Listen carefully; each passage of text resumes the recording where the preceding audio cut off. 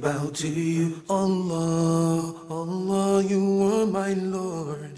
I bow to you, Allah, Allah, you are my Lord.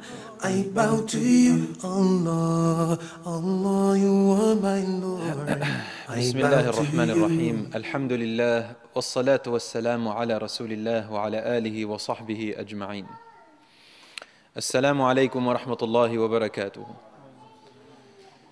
I welcome you here and today inshallah we, were, we will be talking about the lessons from the life of our dear Prophet Yusuf alayhi salam. Hands up those who have heard the story of Yusuf alayhi salam. All of you, most of you. This is why we're talking about the lessons from the stories. So, as you have recalled their stories, inshallah, tonight, you'll appreciate some of the benefits that we actually learn out of them. I'd like to recite a verse from the Quran where Allah subhanahu wa ta'ala says in Surah Yusuf, أعوذ بالله من الشيطان الرجيم بسم الله الرحمن الرحيم فاقصص القصص لعلهم يتذكرون لعلهم يتفكرون فاقصص القصص لعلهم يتفكرون لقد كان في قصصهم عبرة لأولي الألباب ما كان حديثا يفترى which means and relate to them the many stories, so that maybe they can reflect, think, ponder, understand. There has come to us, Allah says, there has come to you many wisdoms in their stories, but only for one type of people. These wisdoms are for لِأُولِي الْأَلْبَابِ for those who use their intellect, for those who use their minds to think with. ما كان حديثا يفترى Allah never tells us stories forged, made up. The Muslim always tell stories that are true. And if they are false stories, then they should let their people know that they are telling a false story and that we need only the morals out of this story, such as when, for example, a gra- your grandmother would have told you a story of the past and you don't know where it came from. But what she wants from it is the moral, or sayings that you've heard. You're allowed to do that as a Muslim. But you need to let the people understand that they are not stories which are necessarily authentic. However, the stories that come to us in the Quran and the stories that come to us on the tongues of our messengers, of the messengers of Allah, our prophets, alayhim salatu they are stories that have no false in them. In their facts, there is no falsehood. They are extremely accurate. And the morals in them are accurate. This is the difference between the stories which Allah relates to us and His messengers and the stories which everyone else relates to us. And I'd like to give you a very important piece of information and advice, which without it, you can never follow the true, proper teachings of Islam. Brothers and sisters, listen to anyone you want. Anyone has words of wisdom or benefit for you, listen. Go to any group you want. Go to any masjid you want. Listen to any imam you want. It doesn't matter. Go and do that. You need to explore things in this day and age. But there is one thing you have to keep in mind so that you don't go astray. Never accept anything without investigating it within your ability, within the ability which Allah has given you, in your intellect and your knowledge and your ability to research. Investigate.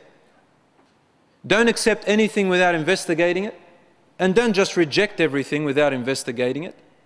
But don't practice things or take in things that you have no evidence about.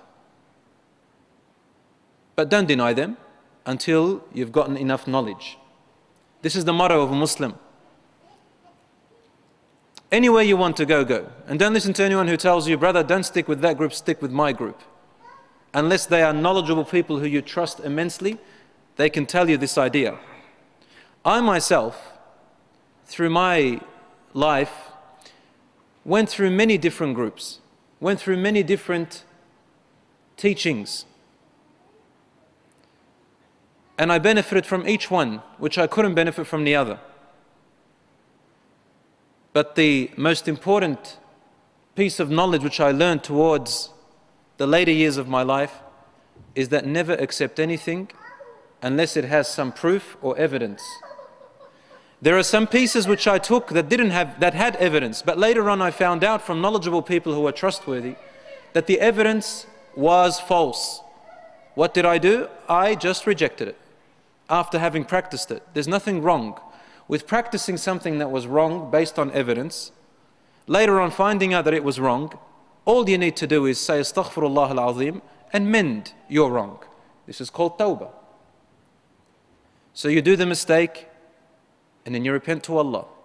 And not one of us, not one of us follows 100% everything to its absolute authenticity in our deen because either our knowledge is deficient or the people we trust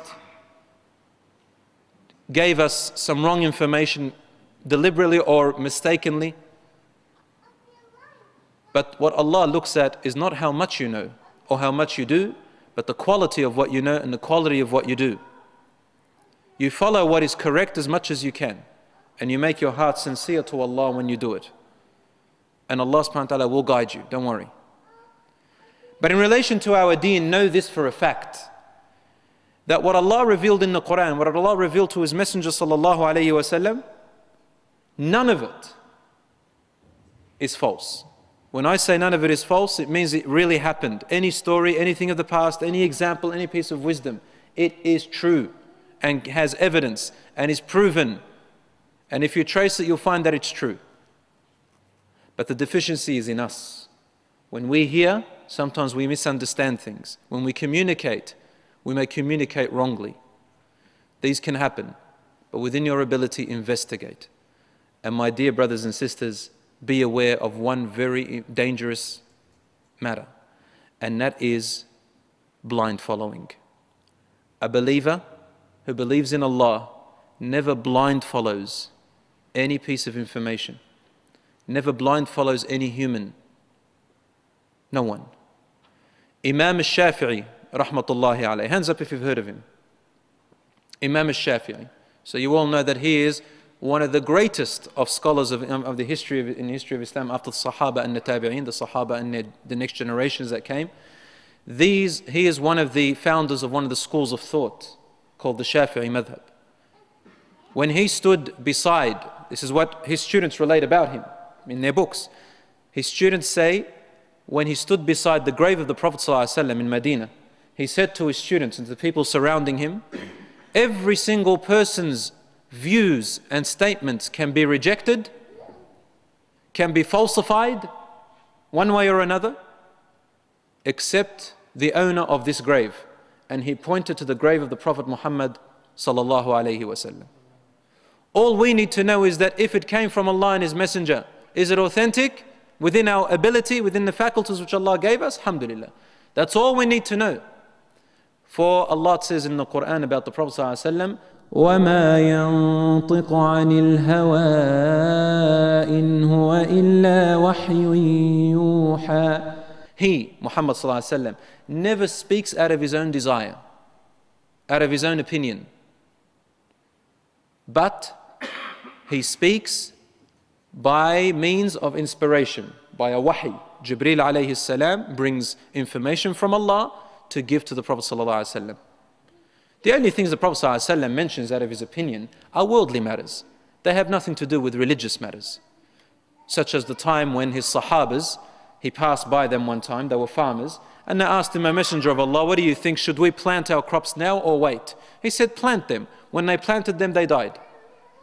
When they reproached him and said, Ya Rasulullah, you told us this, and you are a truthful man. He said, I am not more knowledgeable than you about your crops and farming. You are the farmers, you're the experts, you should teach me. I just merely gave you my opinion. That has nothing to do with religion. Sometimes they would be going on a battle. And they'd ask the Messenger, وسلم, What do you think? And he would say, I believe that we should take this road. And they would say to him, O Messenger of Allah, is this from your own opinion or is this sent from Allah? If he said it's from my own opinion, they would say, then with all due respects, we disagree. We believe we should do it this way because we are more experienced in this land, you haven't lived here. And he would go by their opinion. For it is his manly, his human opinion. But when it was from Allah, when it was from Allah, what do you think they did? Wallahi, they wouldn't even take another breath in any disagreement at all. Absolute submission. And we already related the story of Ibrahim alayhi about the meaning of submission. So Allah tells us that He does not relate stories made up, but real stories, not forged stories.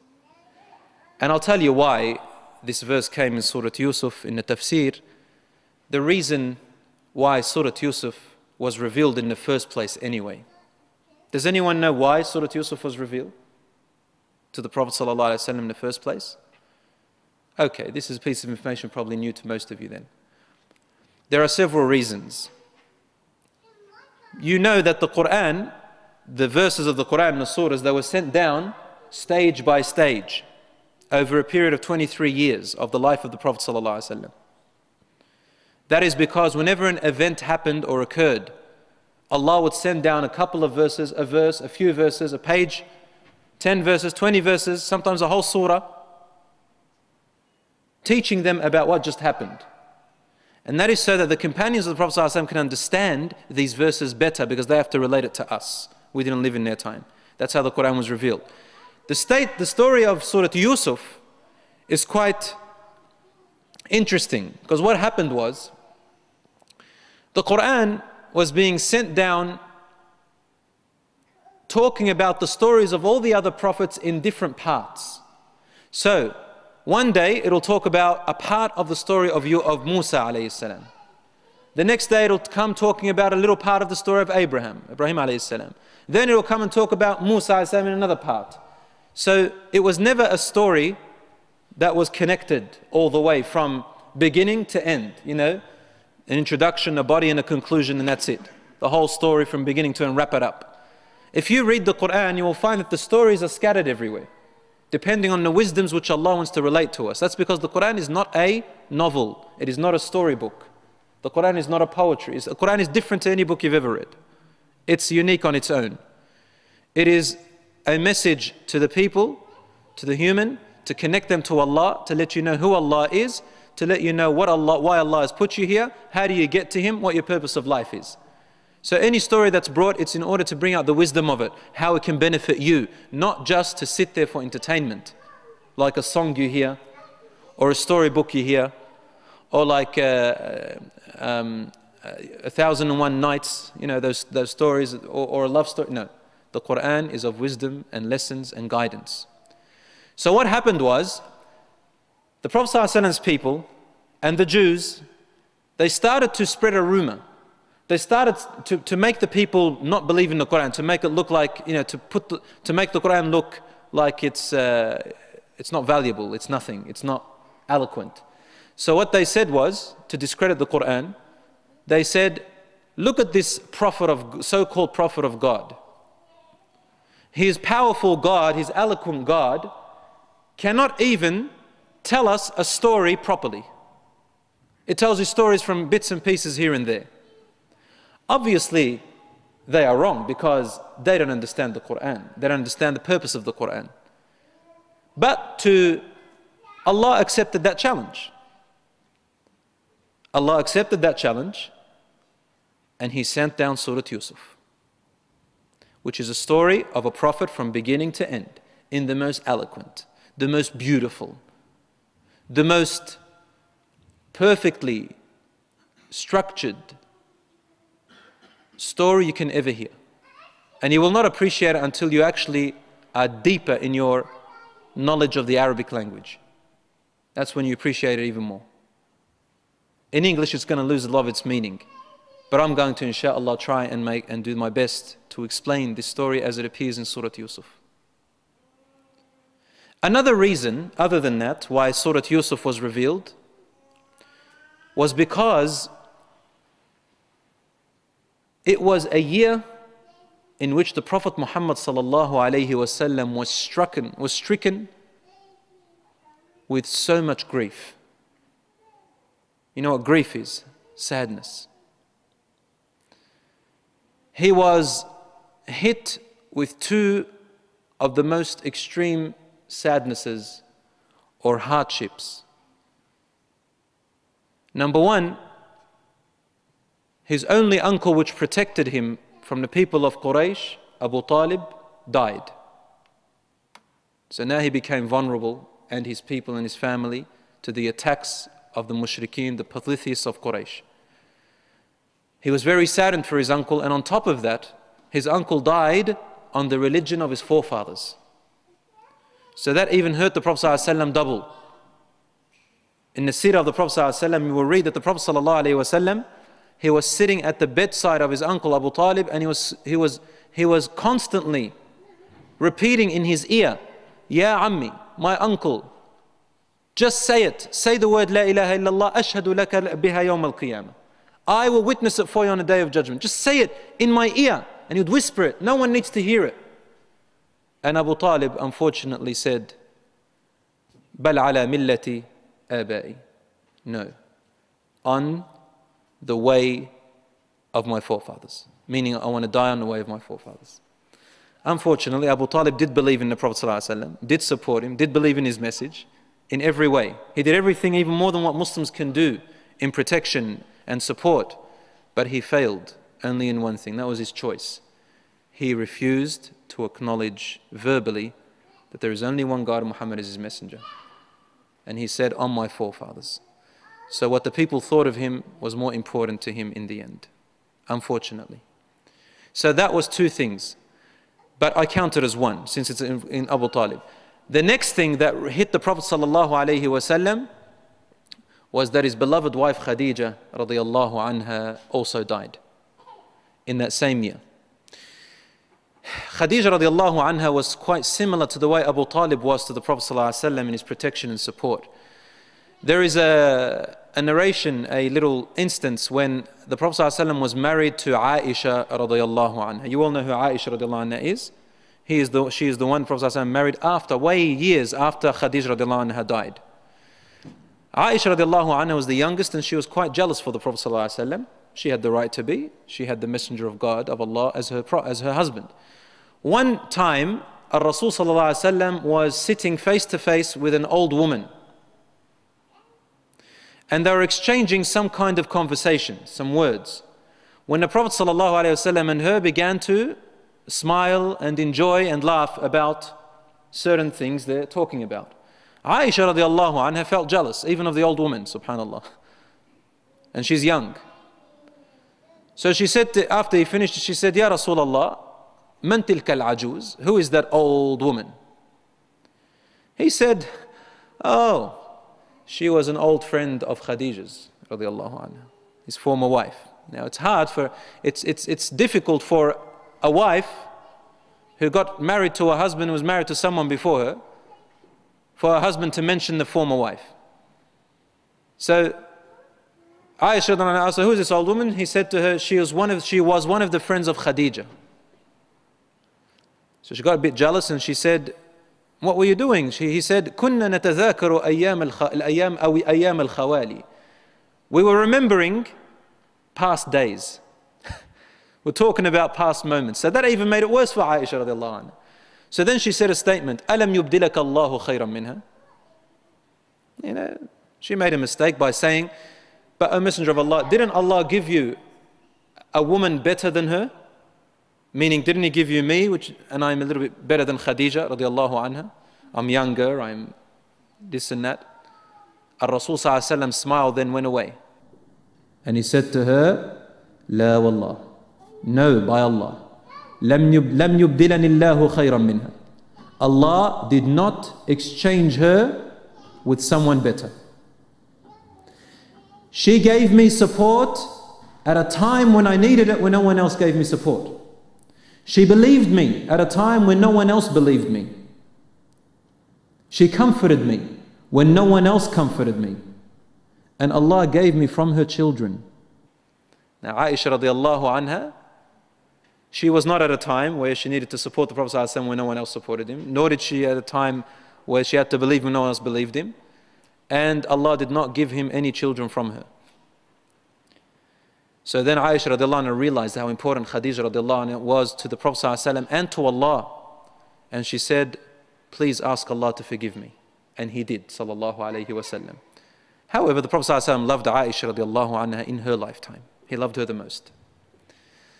Khadija radiallahu anha, the support, the comfort, the believer of the Prophet ﷺ, who also had children from the Prophet ﷺ, she died.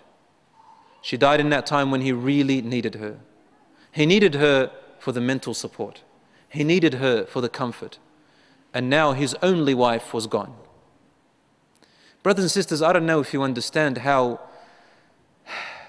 how much grief this caused the Prophet I don't know if you understand to what extent. But all I can say to you is, Ar Rasul was stronger than all of us in heart. He was stricken, stricken with enormous grief. So obviously, he knows that Allah subhanahu wa ta'ala was there for him and is always there for him. Allah says in the Quran, ما ودعك ربك وما قلى Your Lord has not abandoned you. And he will ne- and he never will, not even the least. So Allah subhanahu wa ta'ala came to his aid. On top of that, in that year, the Muslims were boycotted. Every Muslim, well, they had just finished from a boycott, sorry, and Abu Talib died. So now there was hardship. Then Allah sent down the Surah Yusuf in order to comfort his soul and remind him of hardships of those who were before him. You know, when you're reminded of, uh, when you're stricken with some kind of hardness, you think to yourself, there's no one worse off than me. And then you start complaining. And, but when you hear about someone who is worse off than you, suddenly your problem begins to look like insignificant. Isn't that right? Has it happened to anyone here before? Hands up if it's happened to you. I have many times, yes. Every single person. We've always had that. This is why the Prophet ﷺ told us Always look at those who are less fortunate than you. Don't look at those who are more fortunate than you in life. Because if you keep looking at those who are more fortunate than you in life, then the fear is you will start to find Allah's favors upon you insignificant. You'll take them for granted and you'll become ungrateful to Allah أن تزدروا نعمة الله عليكم. You'll start taking for granted the ni'mah of Allah upon you. Always look at those who are less fortunate than you. And there is always someone worse off than you. So in this surah, Allah subhanahu wa ta'ala sent it down as a comfort to the soul of the Prophet sallallahu alaihi wasallam and his heart. A story with eloquence, with some humor, with seriousness, with sadness, with loss. And then in the end, with triumph. Telling the Prophet ﷺ, don't worry. As I relate to you the story of Yusuf, he went through a lot of hardships, but in the end, after patience and taqwa, he became a king. You are going to be victorious. This is only a short time. And Allah says to him in Surah Al-Duha, وللآخرة خير لك من الأولى ولسوف يعطيك ربك فترضى the hereafter is better than you than this world, don't worry. And your Lord is soon going to give you things until you are pleased and satisfied, until all this pain goes away from you. This is in Surah Al-Duha. Scholars believe that it came out, out also, it, it, was revealed shortly after the grief of the Prophet ﷺ as well. Did he not find you an orphan and he supported you and looked after you and comforted you? ووجدك ضالا فهدى And he saw you astray and he guided you. And you know the rest of the duha. So now Allah relates to us the story of Yusuf alayhi salam in the best way. And listen to how Allah begins it. He says, ألف لام را three letters, three letters, letters. They're nothing else but letters. It's, in fact, it's not even a word. But the way we recite it is like this Alif, Lam, Ra. One of the greatest miracles of the Quran is that Allah makes a challenge that you cannot change this book.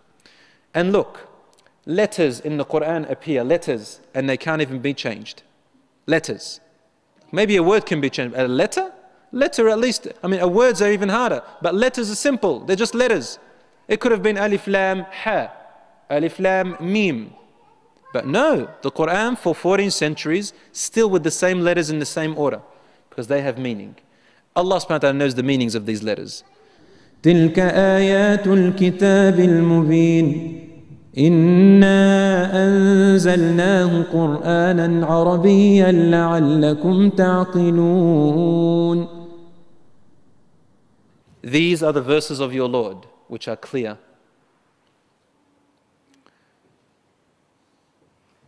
We have sent this Quran down in the Arabic language so that you may comprehend.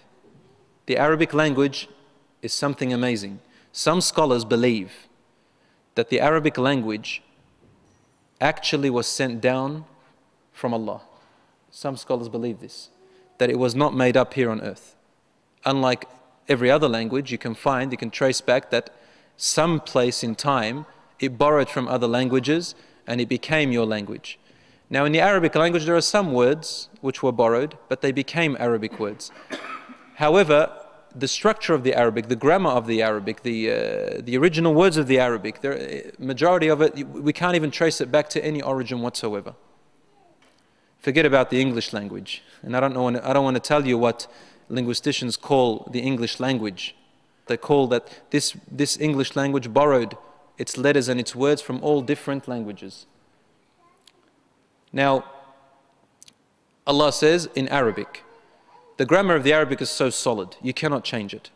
In fact, if you change a letter or a syllable, it changes the whole meaning and you'll get caught out straight away. If you pronounce a word, there's only one way of writing it in Arabic. And unlike English, bought, is it B O T? No. Is it B O A T? No, it's B O U G H T. Eh, amazing. So these are words in English. Unlike in Arabic, you can't do that. Very precise, intricate language. I'm not going to give you too many examples because we don't have time for that.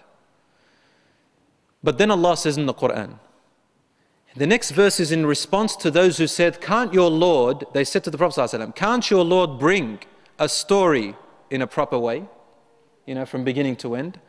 He doesn't know how to tell stories. This is what they said about Allah. He doesn't know, your Lord doesn't know how to tell stories. So Allah replied in this surah. He says, نحن نقص عليك أحسن القصص بما أوحينا إليك هذا القرآن بما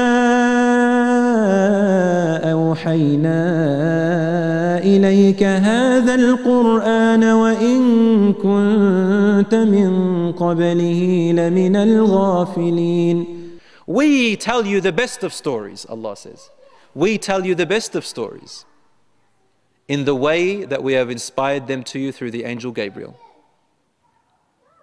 In this Quran, and there are information, there is information in there which you have never known before. we give you information of stories that no one before you has ever known, has ever related.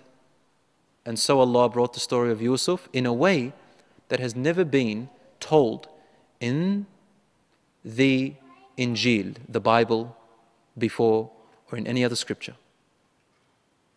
Yes, the story of Yusuf does come in the Bible, the, the New Testament. But there is information lacking in there, which Allah brought in the Quran that no one has heard before, but for the first time.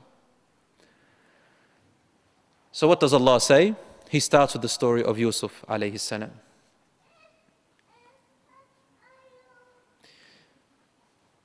And then he says, كنت من قبل من الغافلين.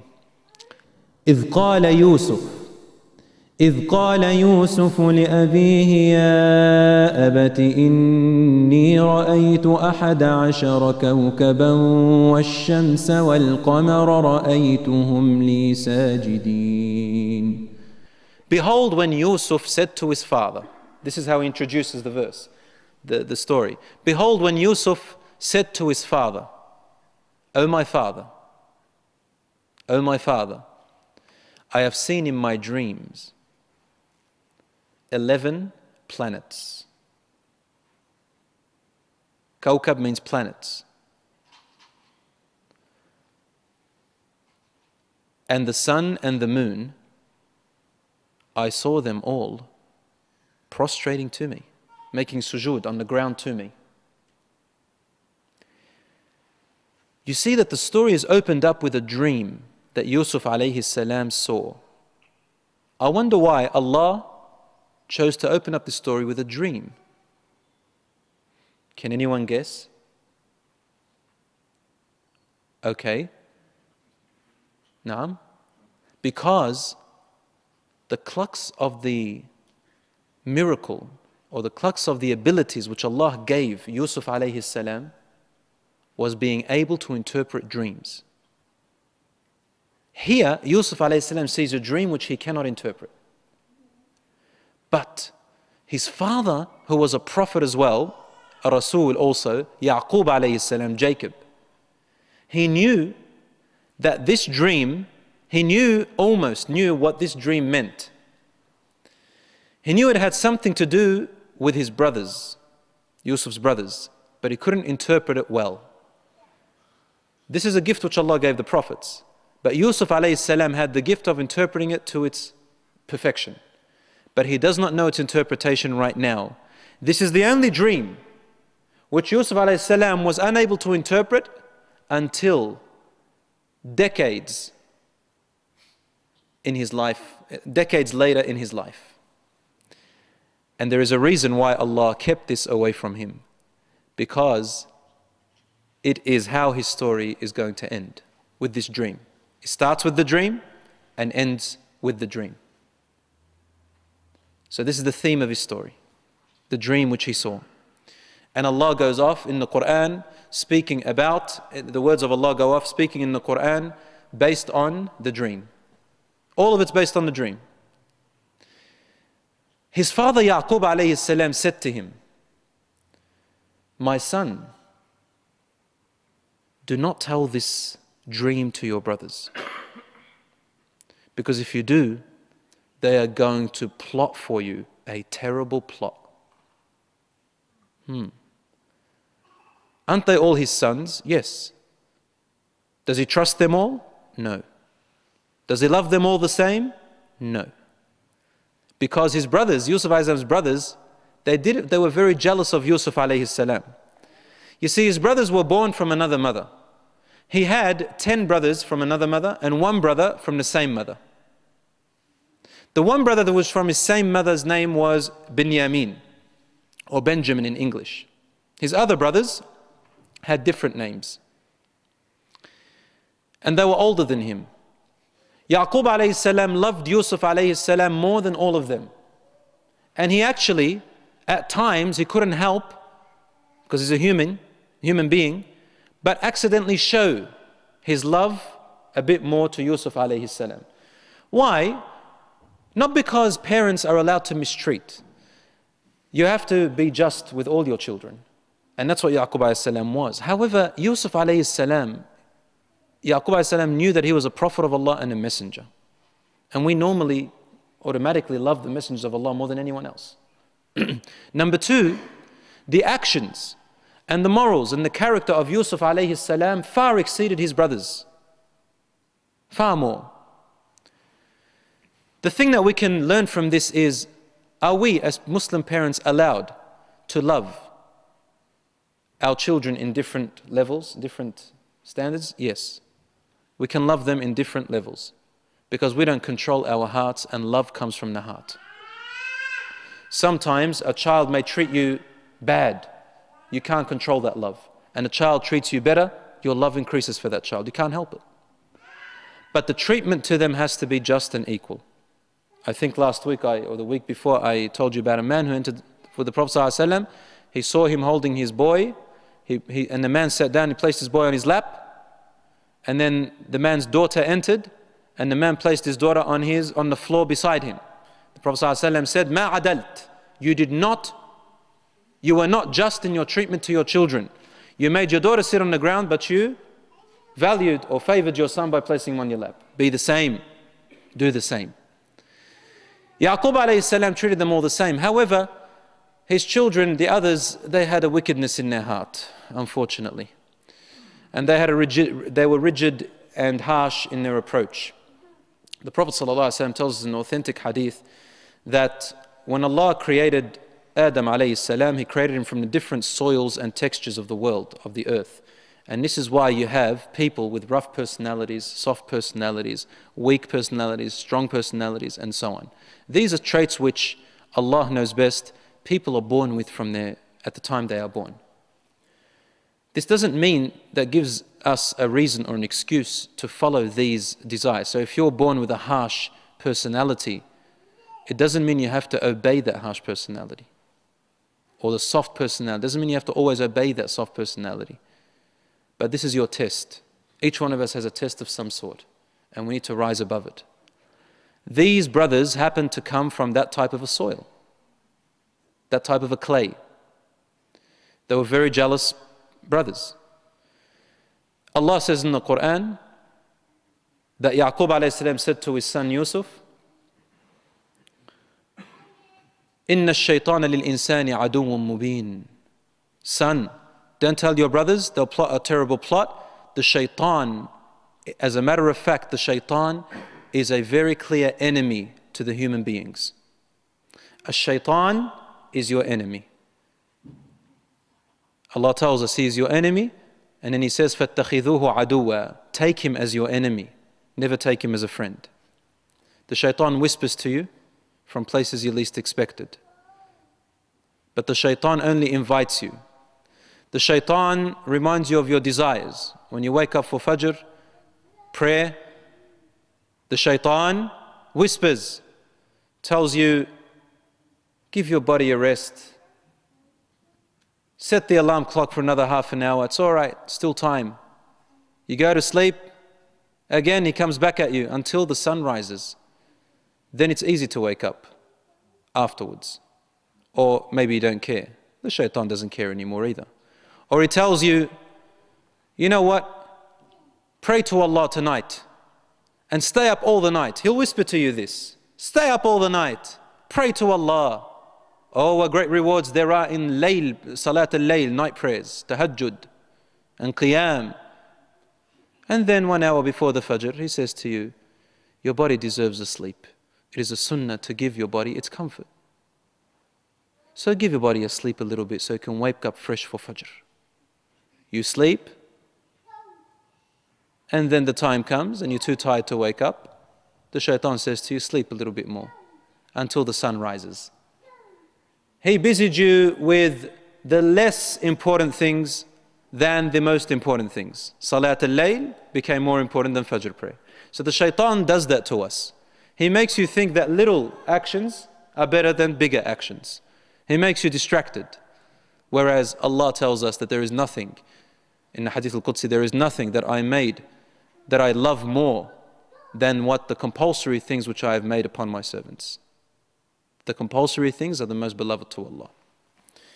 So the shaitan has many ways. I'm not going to go into that too much, but he is our enemy and he works with you step by step. He doesn't bring haram to you to your foot to your doorstep. He doesn't bring you the alcohol, tell you drink. He doesn't bring you the woman to your home and tell you make zina with her.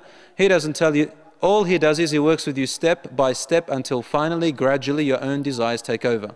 So the shaitan knows this. Allah tells in the Quran that Yaqub said to his son, the shaitan is a clear enemy.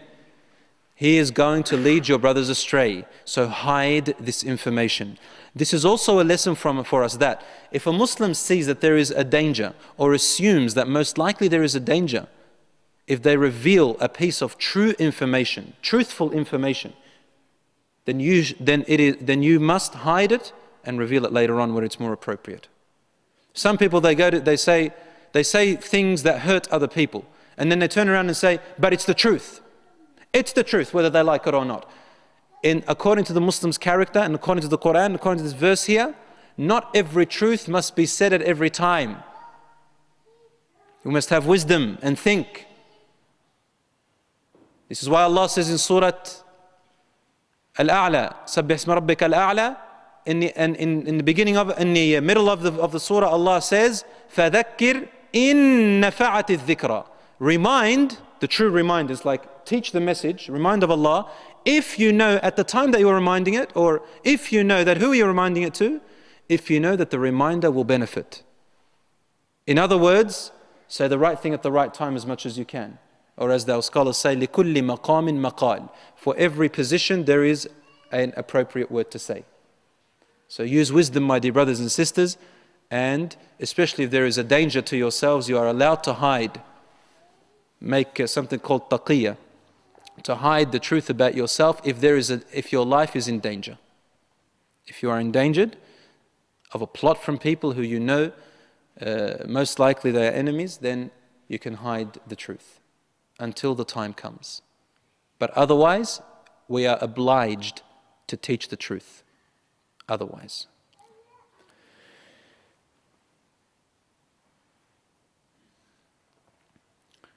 Allah tells us that Yusuf alayhi salam had great forefathers before who were prophets, including Ishaq and the rest, and Ibrahim alayhi salam. Then Allah says about his brothers. One day, his brothers got together, the ten, without Benjamin, without Benjamin. And they said to each other, It seems our father has gone crazy. He's lost. He loves Yusuf more than all of us, a terrible love. This can't, this can't be. This can't be. وَنَحْنُ عُصْبَةٌ he loves him more when we are a larger group. We're from the different mother, and we are a bigger group, bigger children, we can support him more. It's not fair that he loves him more than us. He should love us more than him. So they looked at their numbers, they looked at their, uh, subhanAllah, even though they were, they were his brothers from the same father, just because they were from a different mother, khalas, the shaitan comes and, and creates in your mind a difference between you and another people. This is why there are problems between nationalities, races. That's why there's racism, nationalism. Before World War I, we didn't have different flags. After World War I, they divided us, my brothers and sisters. They divided us and they started with the Ottoman Empire. Ottoman Empire was a Muslim empire, it wasn't a Turkish empire. It was a Muslim empire. It was an Islamic Khilafah. But they turned it into Turks. They make Turkish. Then they made Lebanon by itself, and they made Palestine, and then they made uh, they kept Jordan on its own. They said Saudis on its own. They said uh, Syria's on its own. Uh, all these different. They started dividing all these once this big empire into different flags and nationalities, and they created nationalism between us. They are the ones who caused the trouble and the problem between, in the beginning, between Turkish and Arabs. And this is why there is still animosity till today among the ignorant, among the Arabs and Turks among other different nationalities. I don't want to mention them all, but we all know about many other different. I just mentioned Turkish and Arab because I'm an Arab, and, uh, we, we uh, I know that you know with with the uh, Turkish there was this animosity before, but there also exists with other nationalities and races. But as for the Muslims, it doesn't matter where we're from. We are all brothers and sisters in Islam. In Lebanon, where I where my fathers come from and I come from, if you married a woman from a different village, you're considered an outsider. Village, village. Like saying uh, Meadow Heights and Broadmeadows. You married someone from Broadmeadows, you're an outsider. How could you become a stranger to us? You betrayer. And there's enmity. You're considered an outsider. Why? So this, the brothers of Yusuf did this. And look at the tiny difference, just different mothers, that's all. And what is it? Nahnu usba. We are bigger, stronger, older, larger. So we don't take pride in our muscles or our intellect or our wealth or our bloodline.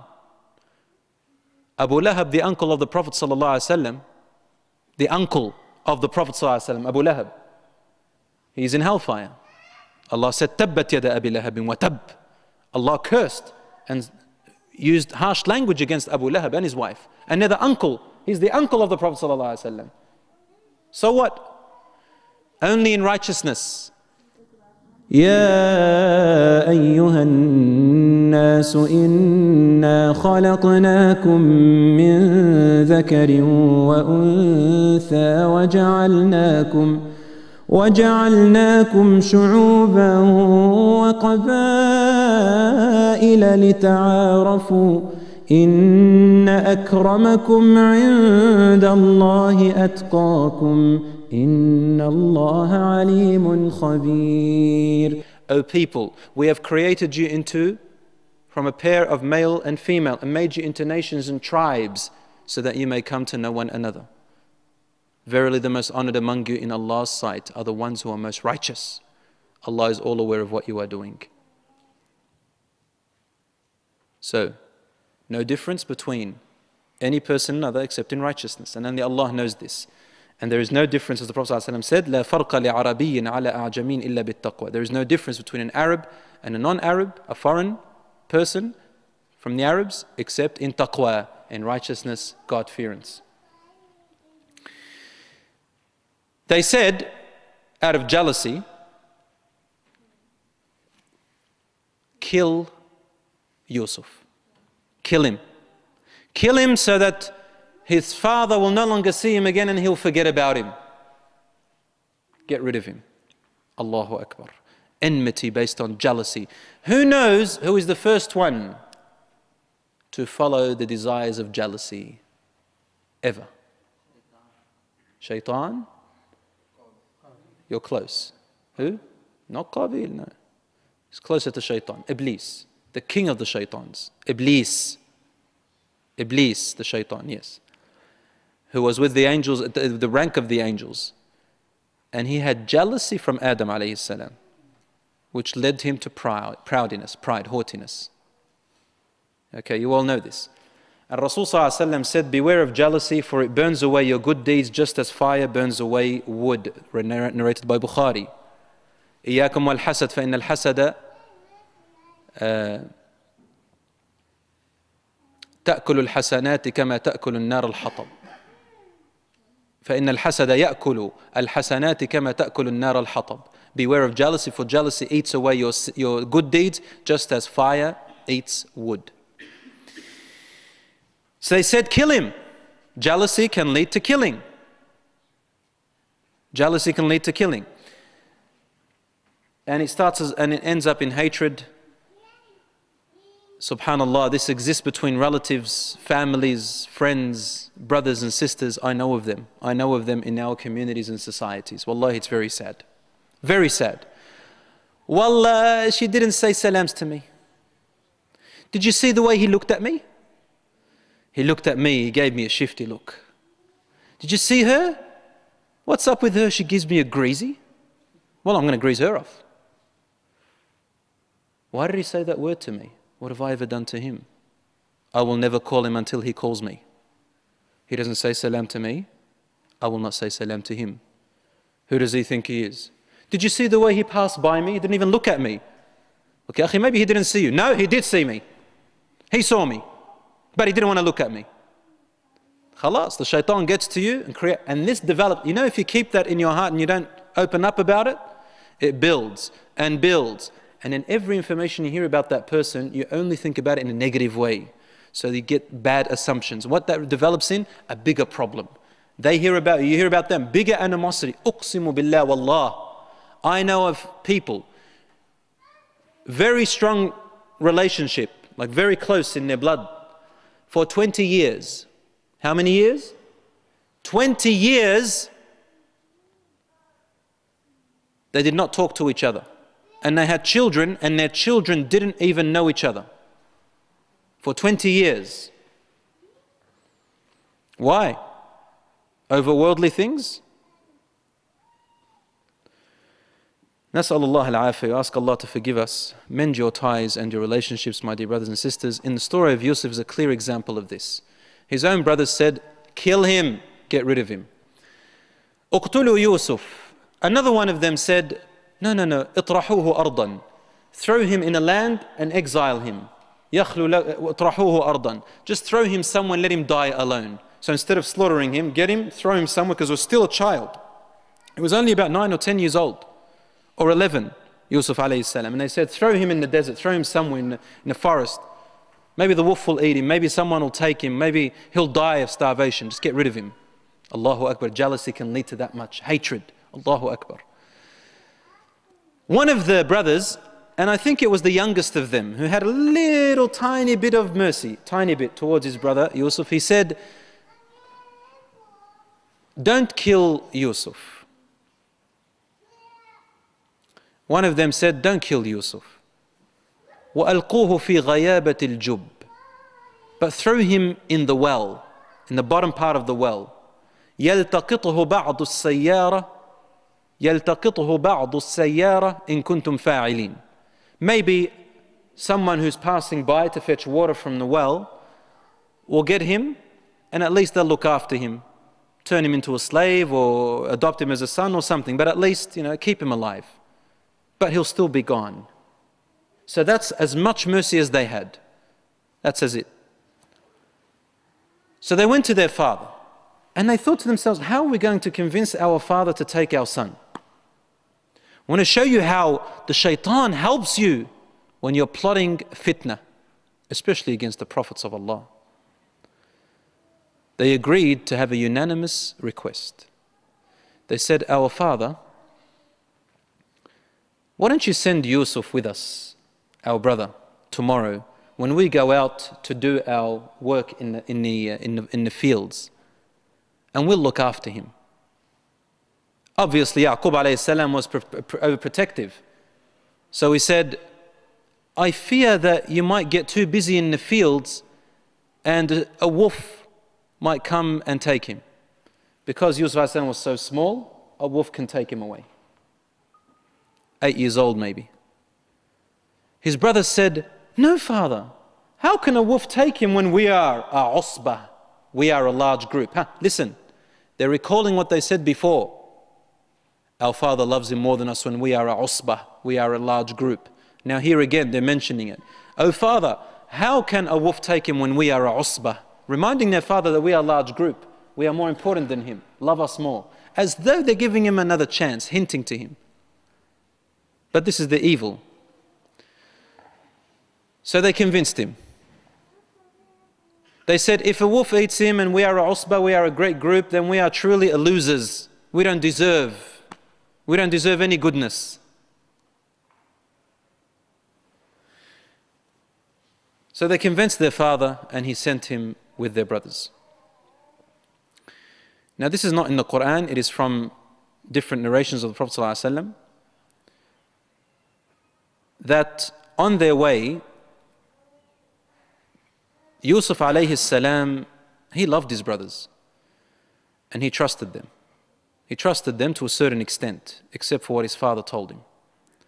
But as a child, seven, eight, nine, ten maximum, you know, you're innocent. You look at your brothers, they're going to protect you. It says on the way, he started to play around them. And each time he went to one of them, he went to the smallest one, he started poking him and pushing him. So he went to the older brother, complaining to him about the smaller brother. And he started poking him and pushing him as well. He went to the third one, he did the same thing, fourth, fifth, until finally reached the oldest one. And the oldest one resented him and pushed him away too. So they started pushing him and bullying him around.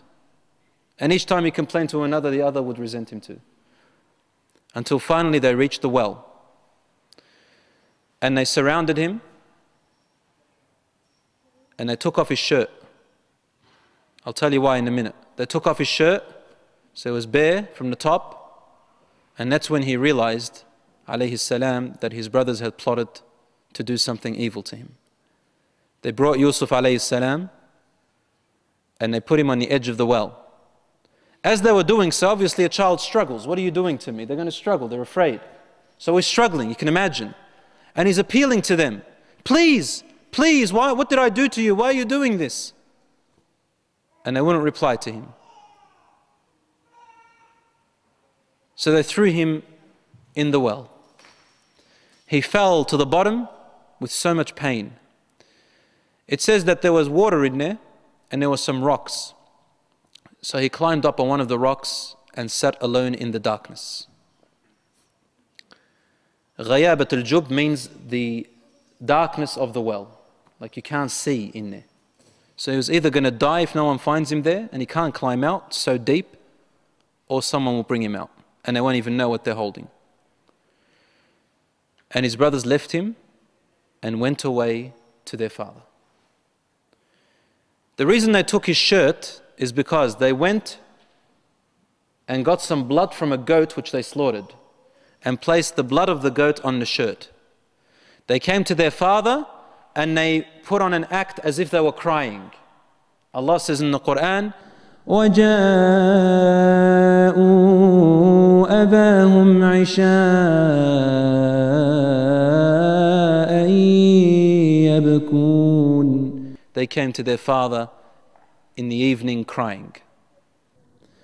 قالوا يا أبانا إنا ذهبنا نستبق وتركنا يوسف عند متاعنا وتركنا يوسف عند متاعنا فأكله الذئب وما أنت بمؤمن لنا وما أنت بمؤمن لنا ولو كنا صادقين Which means they said, Oh Father, we were going about in our work on the fields and we forgot Yusuf behind us playing as he was playing. And the wolf came, snatched him away, and he ate him. And we know that you're not going to believe us. وَمَا أَنْتَ بِمُؤْمِنٍ لَنَا We know that you're not going to believe us. When a liar, how can you tell that a liar is lying? He tells you the truth about themselves in a camouflage manner. He says, We know you're not going to believe us. As though they're telling them, uh, though, as though they're telling him, We're lying to you, Dad. Don't believe us. We know you're not going to believe us, even if we were truthful. Allah made them stumble on that word. وَلَوْ كُنَّا صَادِقِينَ Even when we are truthful, see, even when we are truthful, you still don't believe us. So they're talking in general, but they actually stumbled. And Yaqub alayhi salam is very wise. He took the shirt and he looked at it. Allah says,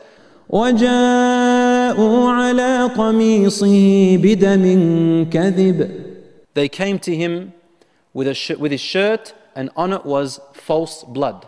Blood was not the blood of Yusuf alayhi salam. Yaqub alayhi salam looked at the shirt and in the hadith it says, he said, what kind of an unusual wolf is this?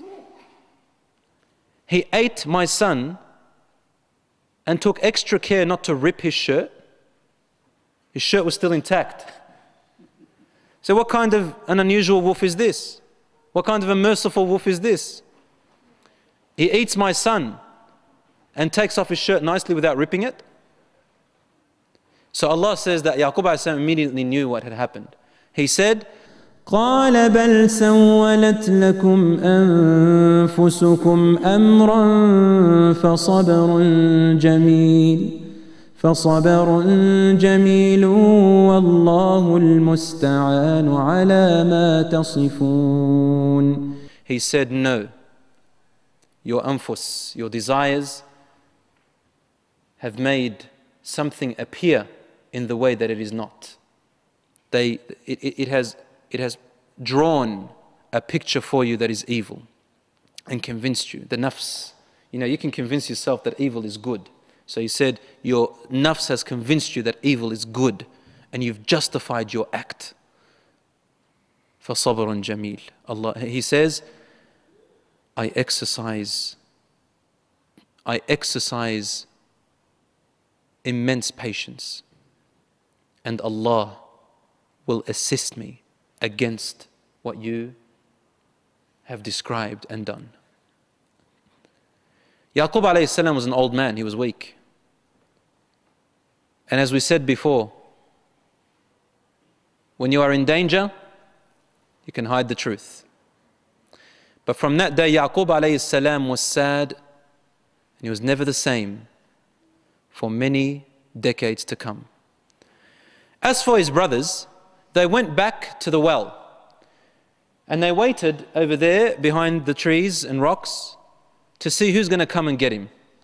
Allah says in the Quran, وجاءت سيارة وجاءت سيارة فأرسلوا واردهم فأدلى دلوه قال يا بشرى هذا غلام وأسروه بضاعة والله عليم بما يعملون which means, and then, uh, you know, a, a, a, a, a passer-by came. And they went to fetch their water with their messenger. They sent out the person to fetch the water. As he was reeling in the, the bucket, he found a child in there. And he screamed, Oh, what great news! This is a child. In those days, when you have a child, this is like a fortune. A fortune. You can sell them or use them as slaves. وَأَسَرُّوهُ بِضَاعَ Allah says, they, they went and hid him inside their luggage, as if he, they acted like as if it was just utensils, luggage, so that no one will know. Allah says, but he knew what they were doing. Now the brothers came about and they said, hold on a minute, you found a child. They said, is he yours? They said, no, no, no. But yeah, we're going to charge you a little price because we know, and otherwise we're going to um, we're going to tell people about you. In another in another narration, it says that they said, "He is our brother, uh, but you can take him on one condition: you got to pay us for him." Allah says in the Quran, وَشَرَوْهُ بِثَمَنٍ بَخْسٍ دَرَاهِمَ مَعْدُودَةٍ وَكَانُوا فِيهِ مِنَ الزَّاهِدِينَ His brothers sold him to these people for a few pennies and they treated him as if he was worthless. In another narration, it says that those people who found him sold him for a few pennies to other people and they treated him as though he was worthless. Next week, inshallah, or the next class that I have you, inshallah, we will continue the story of Yusuf alayhi salam from this point where he got sold for a few pennies while he was treated as worthless. And I end my uh, class for today. May Allah subhanahu wa ta'ala reward you for being here.